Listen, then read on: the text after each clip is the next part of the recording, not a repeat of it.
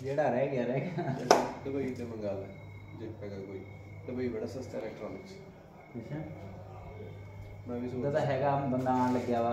तीन के महीने बाद आया ना दुबई इलेक्ट्रॉनिक्स मैं भी सोच रहा था भाई बारह लाऊँगा। सोचा मैं दुबई जाएगा मैं तेरा अप्रोड होगा भेज दे। मैं तो